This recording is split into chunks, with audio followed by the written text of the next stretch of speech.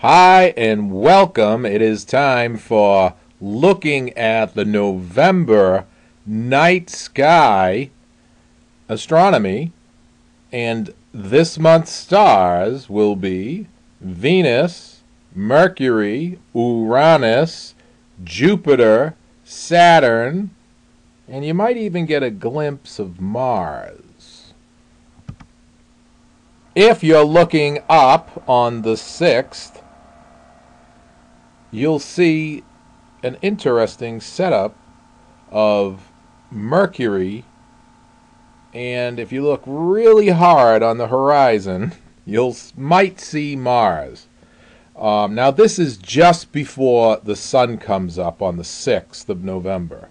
Um, once again, you got to be careful if you're going to try to view Mars at all because it is really in direct sunlight. Um, and I, if you're using a telescope, I would be extremely careful. Uh, Mercury, on the other hand, should be bright enough that you'll be able to see it quite nicely um, in the very early morning sky. Like I said, this is just a few minutes before the sun comes up. Now, on the 5th of November, later in the night, you'll be able to see the Taurid meteor showers. You see, the northern Taurids and the southern Taurids will be visible at that time. The Taurids are a long running minor meteor shower. They produce about 5 to 10 meteors per hour. Um, it consists of the two separate streams, so the northern and the southern ones. Um, the first is produced by dust grains left behind by an asteroid in 2004. The second stream is produced by debris left by the comet 2P Encke. The shower runs annually, usually from September 7th all the way to December 10th, but the peak is November, uh, early November. And so you'll have a nice view. Best viewing will be just after midnight from a dark location. So if you're not in the city, take a look up and you'll see some meteors. The other thing that's happening on this same exact day, that is November 5th, Uranus is at opposition. Okay, so the blue green planet will be at its closest approach to Earth and its face will be fully illuminated by the sun. It will be brighter than in, and at any other time of the year, so this is the time to view Uranus. If you're a big fan of it, um, this is the time to view it. Now, you will need a telescope, all right, to see this, and a pretty strong one, too. Um, but it will appear to you as a blue green dot. Okay, um, so that's what you're looking for. And this is looking, if you're looking east, southeast, so you'll have the Taurid meteor shower to the left of Uranus. Um, so you'll have great viewing on that day. That is the 5th of November. Now, moving along, around the 19th of November, we have the Leonids. Yes, another meteor shower. Uh, the Leonids is uh, an average shower, and they produce about 15 meteors per hour. Um, this shower is unique in that it has a cyclonic peak about every 33 years, where hundreds of meteors per hour can be seen. The last time that happened was back in 2001.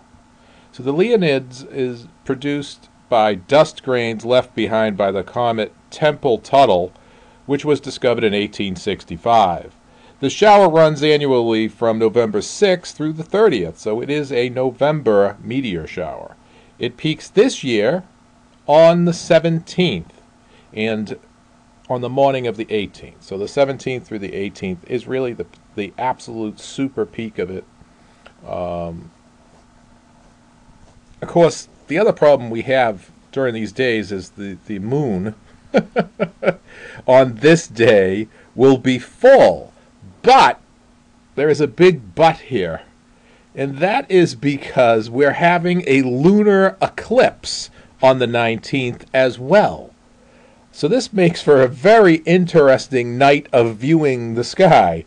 Uh, the partial lunar eclipse uh, occurs when the moon passes through the Earth's partial shadow.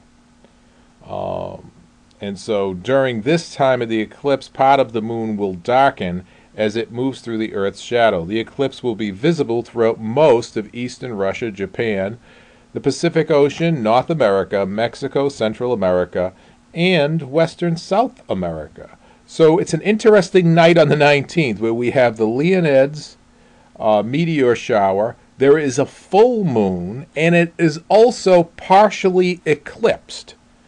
A fantastic astronomical events taking place on the 19th of November.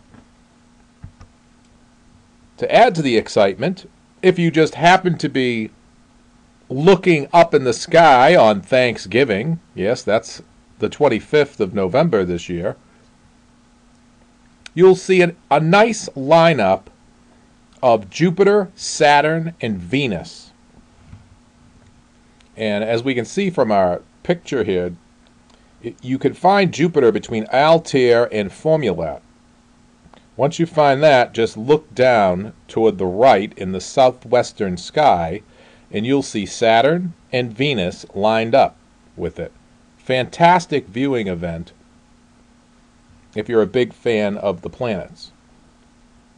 So this is a really exciting month of November, chock full of astronomical events.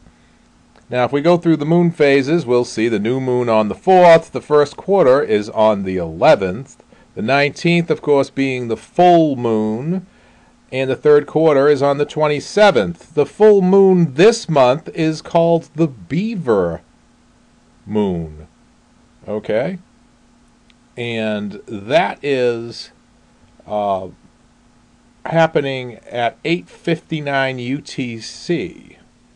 Okay, um, so the Native Americans uh, called this the Beaver Moon because this was the time of year to set beaver traps before the swamps and the rivers froze.